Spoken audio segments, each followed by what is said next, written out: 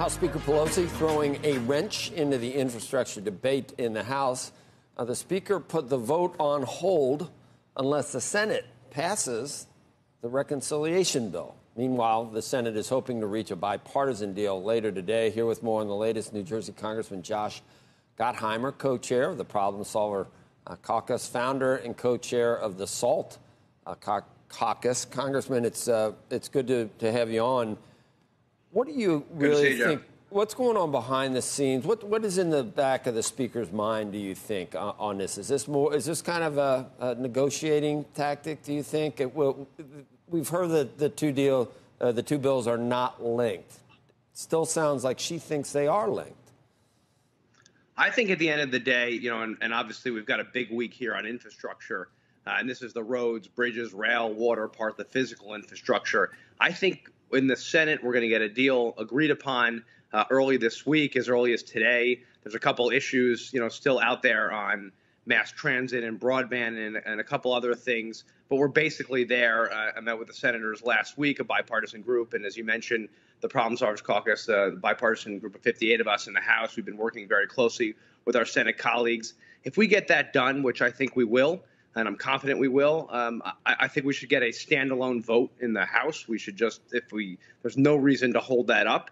If you've got a good bipartisan infrastructure package, which the country desperately needs, so many of us are going to be pushing for that. Obviously, there's, uh, as as you know well, there's a lot of back and forth here and a lot of politics that go on. But the bottom line is, if we get this done in the Senate, uh, there's no reason we shouldn't get a vote in the House on this. Well, how what how would that happen? What, what would Speaker Pelosi say at that point, do you think? How would she, how would she, would that would not be losing face if she were to just totally flip flop on something that she's uh, insisted on uh, up to this point?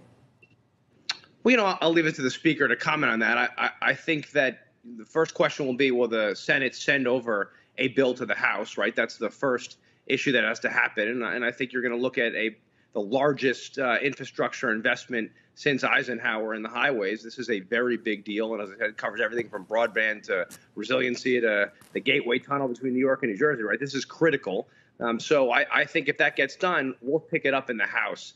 You know, it doesn't mean you can't vote on something else, as you know, right? It doesn't mean you can't have another piece of legislation after. But I think there's there's no reason, and many of us feel this way and have made our our opinions uh, heard on this that we should get a vote on this and and uh, the Problem Solvers Caucus, including 29 Democrats, we came out about a week ago and said just that. Let's get a if this gets done, as we've been working on this for months, let's vote on it in the House, and that would be a great win for the country and a good bipartisan win for the country.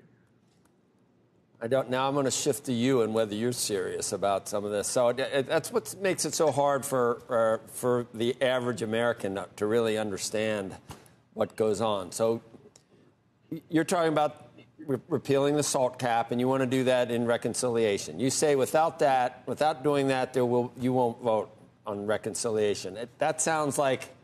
Are you saying raise the cap, or I want this, this, and this to give you my vote if this doesn't happen, or what are you really saying uh, there? Because I well, go ahead. No, it's a, no, it's a it's a very good question. You know what I at first, just so everyone understands, right? We first look at this bipartisan package on infrastructure. Then there will likely be a second package on reconciliation, as you point out, which only requires a 50 vote plus the vice president in the Senate.